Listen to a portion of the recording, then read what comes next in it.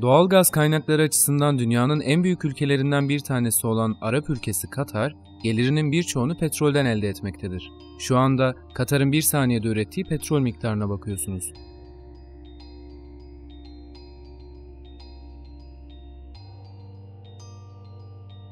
Nüfusun tamamının İslam dinine mensup olduğu bu ülkede hastaneden üniversiteye kadar birçok eğitim ve hizmet alanı ücretsiz.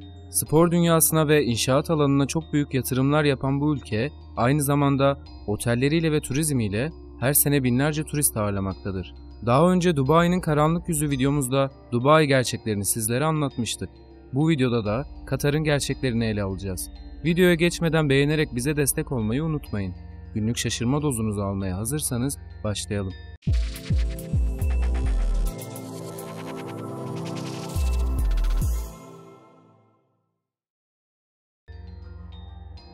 Arap Yarımadası'ndaki en çok yağmur düşen ülke olan Katar, Arapçada yağmur damlası anlamına geliyor. Başkenti Doha olan ülke, mutlak monarşi ile yönetiliyor.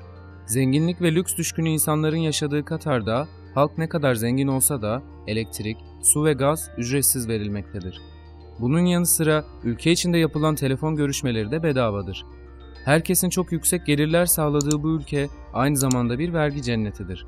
Tüketim mallarından vergi alınmayan ülkede birçok işletme vergiden muaf tutulmaktadır. Kişi başına düşen milli gelirde dünyanın en zengin ülkeleri arasında yer alan Katar'da lüks ve ihtişamı her alanda görebilirsiniz. Trafikte çok sayıda lüks araç ile karşılaşabileceğiniz bu ülkede en çok tercih edilen araçlar ise ultra lüks jipler.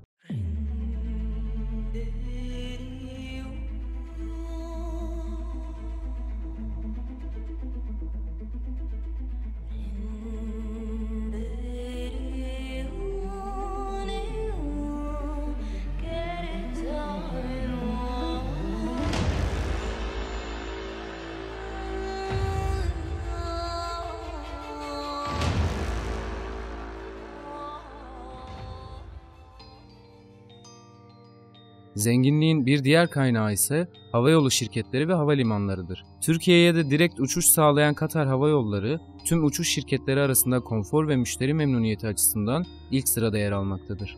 Nüfusu 2 milyona yaklaşan Katar'da yerel halkın nüfusu sadece 300 bin civarındadır.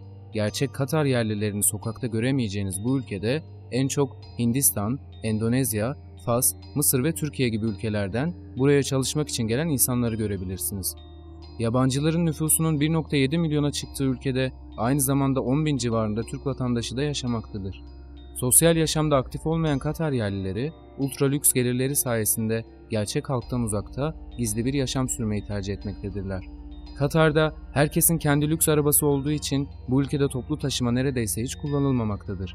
Buraya dışarıdan gelen turistler bu yüzden lüks araba kiralayarak gezmeyi tercih ederler. Aynı zamanda namaz saatlerinde çoğu iş yeri dükkanlarını kapatmaktadır.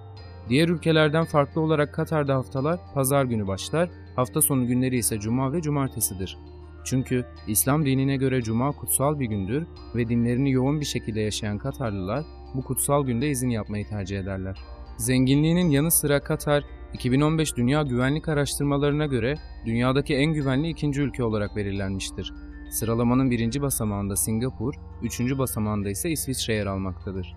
Zenginliğin ve lüksün ana toprağı Katar'da uygulanan yasakların başında internet yasakları yer almaktadır.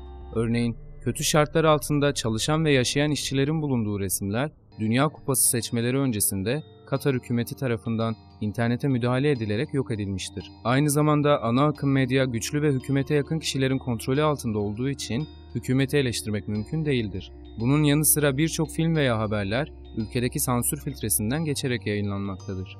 Arap Yarımadası'ndaki diğer İslam ülkelerinin aksine Katar, alkol konusunda sert bir tutuma sahip değildir. Ülkeye her ne kadar dışarıdan alkol sokmak yasak olsa da, alkol lisansı olan otellerde içki servisi ve satışı her zaman devam etmektedir. Alkol satışları sadece otellerde yapıldığı için birçok otel, konaklama dışında eğlence etkinliklerine de ev sahipliği yapmaktadır. Bu yüzden diğer ülkelerden farklı olarak gece hayatının kalbi barlarda değil de otellerde atmaktadır. Katar hukuk sisteminin temelinde şeriat kanunları bulunuyor ve ülkenin çoğunluğu içki karşıtı. Fakat uluslararası otellerde ve lisanslı gece kulüplerinde alkole izin verildiğini görebilirsiniz. Bu kurallar hakkında bilgisi olmayan ziyaretçiler şehirdeki kulüp manzaralarını görünce büyük bir şaşkınlık yaşamaktadırlar. Özellikle perşembe ve cuma günleri gece hayatının en üst noktaya vardığı bu ülkede sokaklarda yürürken neon ışıklarla donatılmış olan gece kulüplerine denk gelme şansınız bir hayli yüksektir.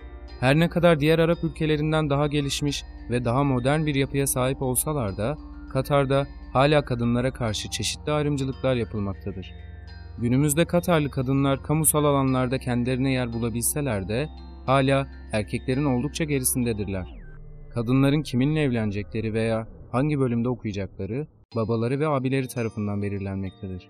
Ayrıca spor salonlarında kadın ve erkekler ayrı ayrı spor yapmakta ve kadın kuaförlerinde erkek çalışamamaktadır. Büyük bir gelirin sağlandığı iktisat ve mühendislik alanında ise tek egemen erkeklerdir. Katarlıların hayatlarındaki en büyük eğlencelerden bir tanesi ise ilginç bir şekilde Türk dizilerini izlemek. Ülkede yayınlanan Türk dizilerinin hayranları olan Katarlı kadınlar bu dizileri izleyerek Türkiye'deki gibi bir yaşamın hayallerini kurmaktadırlar. Özellikle bu dizileri izledikten sonra kadınlar ülkedeki erkeklere Türk dizilerindeki gibi davranmaları için baskı kurmuşlardır. Ülke nüfusunun büyük bir çoğunluğu Müslüman olan Katar'da kıyafet konusunda çok sıkı yasalar bulunmaktadır. Sadece tek tip kıyafetlerin giyildiği bu ülkede sokaklardaki insanların üzerinde sanki üniforma varmış gibi gözükmektedir. Arap Yarımadası'nın genelinde olduğu gibi Katar'da da erkekler genellikle uzun beyaz elbiseler giymektedirler. Bu kıyafetin altında ise beyaz pantolon genellikle zengin erkeklerin tercihi olmaktadır. Kadınların kıyafeti ise siyah abaya ve üzerinde siyah başörtüsünden oluşuyor. Bunun yanı sıra bazı bölgelerdeki kadınların yüzlerini de örttüklerini görebilirsiniz. Katar'da çalışan her yabancı insanın kendine özel bir sponsoru bulunmaktadır. Çalışanların sponsorunun izni olmadan iş değiştirmeleri ve Katar dışına çıkmaları özel yasalarla yasaklanmıştır. Ayrıca iş yerinden istifa edenler, işten çıkartılanlar veya sponsorundan gerekli belgeyi alamayanların Katar'da oturma izinleri iptal edilmektedir. İşçi, teknisyen gibi bazı meslek gruplarının ailelerinin Katar'da oturma izni alma hakkı yoktur. Katar Hava Yolları ve Doha Uluslararası Havaalanı ile bölgedeki transit ulaşımın lideri olan Katar, seneler içinde ülkedeki turist sayısını gözle görülür biçimde arttırmıştır. Zengin Körfez ülkesinin en çok tercih edilme nedenleri arasında dini turizm yer almaktadır. Bunun yanı sıra birçok su sporu organizasyonuna ev sahipliği yapan Katar'daki otellerin ihtişamı göz kamaştırmaktadır. Her gün bir yenisinin açıldığı bu lüks otellerin birçoğu değerli mücevherlerle donatılmış olup ekstra lüks odalar içermektedir. Aynı zamanda alkol satışlarının sadece bu otellerde yapılması, bu otelleri büyük bir cazibe merkezi haline getirmektedir. Peki siz gelenekleri, yasaları ve zenginlikleriyle dünyada önemli bir yerde bulunan bu Arap ülkesine gitmek ister miydiniz? Cevaplarınızı bize yorumlar bölümünden bırakabilirsiniz.